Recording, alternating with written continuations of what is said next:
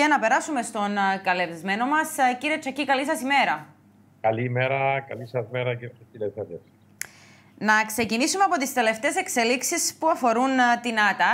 Επίκειται έτσι και μια συνάντηση. Να μας αναφέρετε με ποιους θα γίνει αυτή, μεταξύ ποιον θα γίνει αυτή η συνάντηση και τι θα ζητήσετε από τον Υπουργό Εργασίας. Πάει.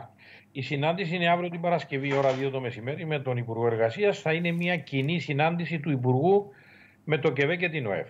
Βασικά αντιλαμβάνομαι ότι είναι το δεύτερο στάδιο της διαδικασίας που έχει τροχιοδρομήσει, αν θέλετε, το Εργατικό Συμβουλευτικό Σώμα για το θέμα της ΆΤΑ, όπου αφού είδε ξεχωριστά την κάθε οργάνωση ο Υπουργός και εννοώ τις εργοδοτικές και τις συνδικαλιστικές οργανώσεις, το δεύτερο στάδιο είναι βλέπει μαζί αλλά ξεχωριστά πρώτα τις, ε, τις συνδικαλιστικές οργανώσεις ως μία ομάδα και τις εργοδοτικές οργανώσεις ως δεύτερη ομάδα για να ακούσει και να βολιδοσκοπήσει μέσα στα πλαίσια του διαμεσολαβητικού ρόλου που έχει αναλάβει αν θέλετε ε, ποιες είναι οι προθέσεις, ποιες είναι οι θέσεις των δύο πλευρών σε σχέση με την ΆΤΑ και στη βάση αυτών των συναντήσεων ε, θα καλέσει ξανά σε μια κοινή σύσκεψη του Εργατικό Συμβουλευτικό Σώμα για να δούμε κατά πόσο μπορούμε να βρούμε μια διέξοδο σε αυτό το πολύ όντως δύσκολο, περίπλοκο και σύνθετο πρόβλημα που λέγεται άλλο. Άρα θα μαζί αύριο την Παρασκευή μαζί με την ΟΕΦ θα του μεταφέρουμε ποιες είναι οι δικές μας θέσεις γύρω από το θέμα και θα υπάρξει μια τρίτη συνάντηση, όπως είπε ο ίδιος, ε, πέρυσι μέσα του Δεκεμβρίου, για να ξεκαθαρίσει το θέμα κατά πόσο υπάρχει δυνατότητα συμφωνίας ή είμαστε σε αδιέξοδο. Γιατί και ο στόχος, όπως αναφέρθηκε, είναι να βρεθεί μια λύση πριν από το τέλος του έτους.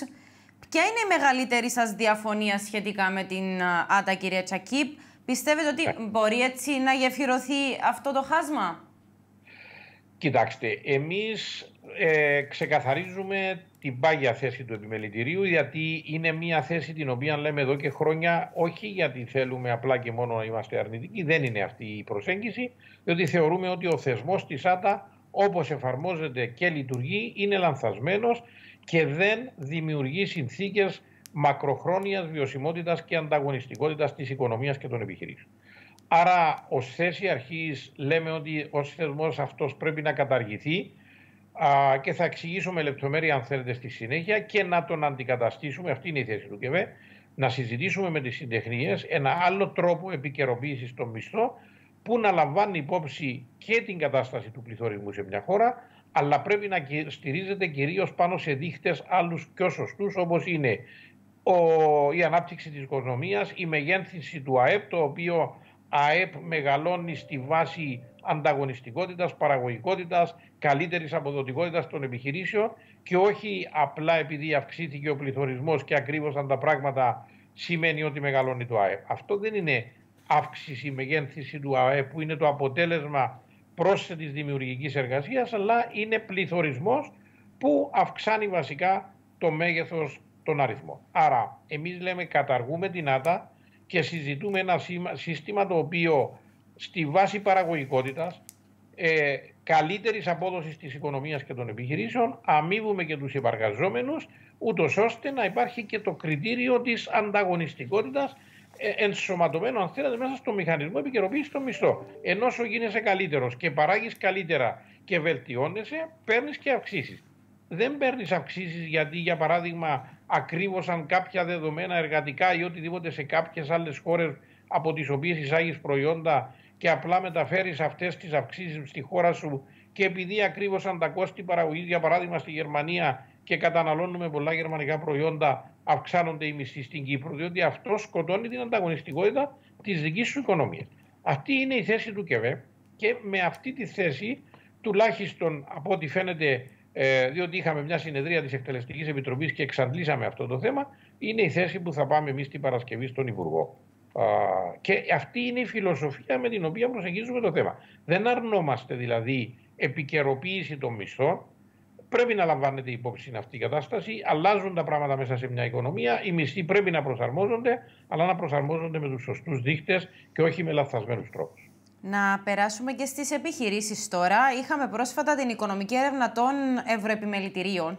Τι έδειξε αυτή η έρευνα και ποια είναι τα κυριότερα της ε, συμπεράσματα; είναι όντως μια ανησυχητική, τα αποτελέσματα είναι όντως ανησυχητικά. Για αυτή η έρευνα γίνεται κάθε χρόνο αυτή την περίοδο σε όλες τις χώρες της Ευρώπης και γενικά του δικτύου των Ευρωεπιμελητηρίων. Μιλούμε για 25 χώρες. Συμμετείχαν σε αυτή περίπου 42.000 επιχειρήσεις από όλη την Ευρώπη. Είναι η πρώτη φορά στα 30 χρόνια που γίνεται που διαπιστώνεται και τα καταγράφεται μια έντονη ανησυχία και ένα αρνητικό κλίμα όσον αφορά τις προβλέψεις των επιχειρήσεων για το 2023. Αυτό από μόνο του αποτελεί ένα ισχυρό μήνυμα ότι έρχεται μπροστά μας, φαίνεται το 2023, μια δύσκολη χρονιά που θα ταλαιπωρήσει επιχειρήσεις και νοικοκυριά προφανώς, διότι όταν επηρεάζονται οι επιχειρήσεις επηρεάζονται και τα εισοδήματα και ο κόσμος. Υπάρχει έντονη ανησυχία ότι θα επικεντρωθούν περισσότερο οι επιχειρήσεις στη διαχείριση των ζημιών που θα προκληθούν από την κατάσταση που θα επικρατεί, αναστέλλοντας προφανώς και επενδύσεις ή και νέες επεκτάσεις και θα διαχειριστούν ουσιαστικά τις δυσκολίες που φέρνει το 23. Από εκεί και πέρα, μέσα από την έρευνα, προέκυψαν και κάποια πολύ σημαντικά προβλήματα που βλέπουν οι επιχειρήσεις. Όπως για παράδειγμα, το πρώτο σε σημασία πρόβλημα ήταν η ανησυχία για την πιθανότητα να μην βρίσκουν επαρκείς ποσότητες ενέργειας είτε αυτά είναι υγρά καύσιμα ή φυσικό αέριο ή ηλεκτρισμός σε προσιτές τιμές. Άρα το κόστος της ενέργειας είναι το πρώτο που τους απασχολεί.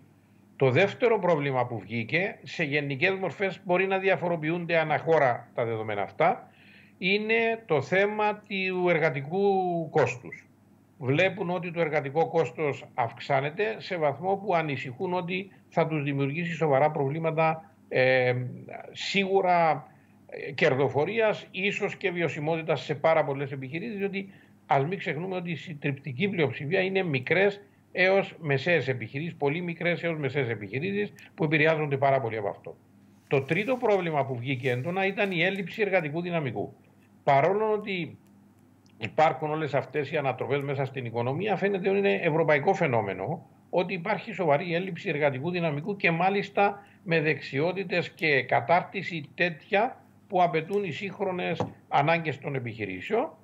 Και το τέταρτο σε σημασία πρόβλημα, αν θέλετε, ήταν το πρόβλημα της εφοδιαστικής αλυσίδας. Ανησυχούν ότι πιθανώς να έχουν προβλήματα ικανοποιητικής προμήθειας είτε πρώτων υλών, είτε ενδιάμεσων προϊόντων ή ακόμα και τελικών προϊόντων, διότι όταν επηρεάζονται οι πρώτες σουήλε, σημαίνει ότι ε, κατ' επέκταση επηρεάζεται και η δυνατότητα σου να παράξεις τελικά προϊόντα. Αυτά, αν θέλετε, ήταν τα βασικά προβλήματα που έδειξε η μελέτη των Ευρωεπιμελητήριων, η οποία είναι μια πολύ αξιόλογη και έγκυρη μελέτη ε, δεδομένου του μεγέθους που, και της έκτασης που καλύπτει. Αναφερθήκαμε σε προβλήματα και προκλήσεις. Αυτά είναι ίδια και για τις κυπριακές επιχειρήσεις, ε, κύριε Τσακή, ή βλέπουμε έτσι να διαφοροποιούνται λίγο τα ζητήματα ε, που διαμορφώνονται στην Κύπρο; Θα έλεγα ότι είναι περίπου παρό... είναι παρόμοια. Σίγουρα έχουν βγει και στην Κύπρο αυτά τα στοιχεία. Είναι πολύ πιο ψηλά, αν θέλετε. Είναι πρώτο μάλλον σε σημασία το εργατικό κόστος για τις κυπριακές επιχειρήσεις και το δεύτερο ήταν το, η έλλειψη εργατικού δυναμικού, το κόστος της ενέργειας και τελευταίο ήταν το θέμα των, του supply chain, της εφοδιαστικής αλυσίδας. Αλλά δεν είναι τεράστιες οι αποκλήσεις της Κύπρου σε σχέση με, το, με την ευρωπαϊκή εικόνα, άρα ε, είναι αυτά τα προβλήματα που καταγράφηκαν και από πλευράς των Κυπριακών επιχειρήσεων. Η έλλειψη εργατικού δυναμικού, όσον και να ακούγεται παράξενο, φαίνεται ότι είναι πολύ ψηλά στην Κύπρο και αυτό έχει καταγραφεί από τις αρχές του 22 που εμείς λέγαμε ότι και προς την μακαριστή Ζέτα, την Υπουργό, ότι τα μηνύματα που παίρναμε από τις επιχειρήσεις όλων των κλάδων της οικονομίας είναι ότι έχουν φοβερή έλλειψη να βρουν ανθρώπινο δυναμικό για να μπορέσουν να κάνουν τη δουλειά τους. Και γι' αυτό είναι και πάγιο αίτημα μας μέσα στις συνομιλίες που κάνουμε με το Υπουργείο ότι πρέπει να διαφοροποιήσουμε την περιβόητη πολιτική ε, απασχόλησης ε, εργατικού δυναμικού από τρίτες χώρες για να καλύψουμε αυτές τις ανάγκες. Έχουμε κάποιο ποσοστό σε σχέση με την έλλειψη του εργατικού δυναμικού; Κοίταξε, κυμαίνεται, κυμαίνεται από, ανάλογα και με τον κλάδο, κυμαίνεται ανάλογα και με την εποχικότητα. Για παράδειγμα, στον τουρισμό, όταν τα ξενοδοχεία και ο τουριστικός τομέας ήταν σε πλήρη ανάπτυξη, αντιλαμβάνεστε, εκεί υπήρχε μια φοβερή ζήτηση που δεν μπόρεσε να καλυφθεί. Ε, το ίδιο ισχύει και με εστιατόρια και με είδη κατάλληλη αυτής της μορφής επιχειρήσεις που σχετίζονται με τον τουρισμό. Η, στο χοντρικό ελληνικό εμπόριο μπορεί να κυμαίνεται μεταξύ 25 και 30% η έλλειψη εργατικού δυναμικού που χρειάζονται οι επιχειρήσεις για να λειτουργήσουν. Ε, υπάρχει, είναι σε όλο το φάσμα. Και στη βιομηχανία έχουμε λήψεις. Αυτό οφείλεται κυρίως, αν θέλετε, το είχαμε πει και πριν την πανδημία, έγινε πολύ πιο αισθητό με την πανδημία το πρόβλημα. Πριν την πανδημία εργάζονταν στην Κύπρο πάρα πολύ από τα πρώην ανατολικές χώρες μέλη της Ευρωπαϊκής Ένωσης, οι οποίοι μπορούσαν εύκολα, χωρίς ιδιαίτερες διαδικασίες, διατυπώσεις, ως μέλη της Ευρωπαϊκής Ένωσης να έρθουν στην Κύπρο να εργαστούν. Μετά την πανδημία, που αναγκάστηκαν πάρα πολλοί από αυτούς να επιστρέψουν πίσω στις χώρες τους, γιατί κλείσαν τα πάντα, και με την ανάκαμψη που υπήρξε στην πορεία στις χώρες τους, έμειναν πίσω. Δεν ήρθαν πίσω στην Κύπρο όλοι αυτοί, διότι μπορούσαν να βρουν δουλειά με καλύτερους όρους, αν θέλετε, απασχόλησης στη χώρα του. Με αποτέλεσμα να δημιουργηθεί ένα μεγάλο κενό στην Κυπριακή αγορά, το οποίο επειδή είναι περιοριστική η πολιτική για την εισαγωγή εργατικού δυναμικού από τρίτες χώρες, παρέμεινε ως κενό και ταλαιπωρεί τι επιχειρήσεις μέχρι σήμερα. Τώρα καταληκτικά θα ήθελα να περάσουμε και στον κατώτατο μισθό και να αναφερθούμε στις εξελίξεις που είχαμε. Mm-hmm. Πρόκειτο να συζητηθούν έτσι και κάποιες διευκρινήσεις σχετικά με το αν αυτά τα 940 ευρώ θα αντιστοιχούν σε συγκεκριμένες ώρες εργασίας.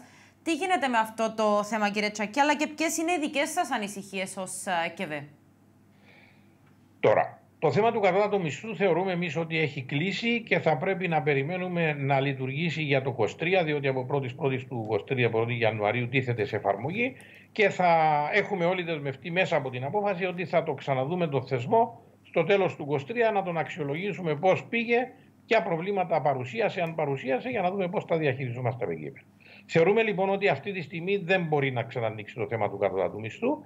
Μεταξύ των θεμάτων που ρυθμίστηκαν ήταν και το θέμα του ωραρίου. Και η θέση που, που συμφωνήθηκε ήταν ότι αν εξαγγέλλεται ένας κατώτατο μισθό στα 940 ευρώ μετά από 6 μήνες ε, εργασίας στον ίδιο εργοδότη, χωρίς αυτό να συνδέεται με ωράριο εργασίας με την έννοια ότι ό,τι ίσχυε στον κάθε κλάδο, στην κάθε επιχείρηση, είτε ως αποτέλεσμα συλλογικής σύμβασης, είτε συμφωνίας που υπήρχε ως ωράριο, συνεχίζει να υπάρχει αυτό το ωράριο και σήμερα η αμοιβή του υπαλλήλου που επηρεάζεται από αυτόν τον τον μισθό, αντί στα 924 αν είχε φτάσει το ύψος αυτός, αυξάνεται στα 940 αν ήταν πιο κάτω από τα ποσά αυτά και έχει συμπληρώσει 6 μήνες εργασίας στον ίδιο εργοδότη, αυτόματα θα πάει στα 940 ευρώ. Άρα αυτό το θέμα για μας δεν είναι προς συζήτηση αυτή τη στιγμή και θα πρέπει να δούμε πώς λειτουργεί. Θα πρέπει να δώσουμε χρόνο στον κατώτατο μισθό. Είναι μια θετική εξέλιξη και για τους εργαζόμενους αλλά και για την κοινωνία το γεγονός ότι έχει εφαρμοστεί πλέον ένας εθνικός κατώτατος μισθός που τέμνει οριζόντια την οικονομία και όποιος εργαζόμενος μπαίνει σε εργασία θα αμείβεται με αυτόν τον ελάχιστο κατώτατο μισθό εκτός από τους τρεις τομείς που εξαιρέθηκαν. Να τους θυμίσουμε αν θέλετε ήταν ο τομέας της γεωργοκτηνοτροφίας, η οικιακή βοηθή και η ναυτική, οι οποίοι συνήθως είναι εκτός Κύπρου, εν πάση περιπτώσει, απλά είναι πάνω στα πλοία που είναι κάτω από κυπριακή σημαία και ε, εργοδοτούνται και μπορεί να μην βρεθούν ποτέ στην Κύπρο. Άρα ήταν τα τρία επαγγέλματα που εξαιρέθησαν. Όλοι οι υπόλοιποι εργαζόμενοι ε, με τους όρους του κατώτατου μισθού θα μείνονται στους έξι μήνες εργασίας με 940 ευρώ. Κυρία Τσακίδα, ήθελα να σας ευχαριστήσω πάρα πολύ για την ε, παρουσία σας στην εκπομπή μας και να ευχηθώ καλό υπόλοιπο. Ευχαριστώ πολύ. Εγώ σας ευχαριστώ για τη φιλοξενία. Να είστε καλά.